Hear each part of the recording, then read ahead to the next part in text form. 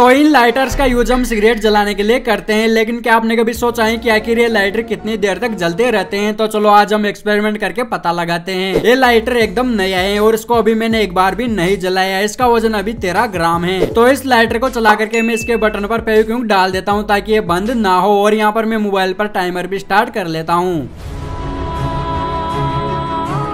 अरे यार, आठ मिनट तक चलने के बाद हमारा लाइटर अपने आप बंद हो गया। और अभी तो ये पुल भरा हुआ है, लेकिन मैंने जब इसको खोल करके देखा तो ये अंदर से पिघल चुका है। तो अब की बार मैंने कुछ इस तरह का जुगाड़ करके इस लाइटर को वापिस चालू कर दिया है, और अब की बार ये तब तक बंद नहीं होगा जब तक इसके अंदर की पूरी गैस खत्म ना हो जाए। तो फाइनली हमें पता चल गया कि हमारा लाइटर अट्ठाईस मिनट तक चलता है, और अभी इसका वज़न 11 ग्राम है मतलब इस पर सिर्फ़ दो ग्राम ही गैस होती है।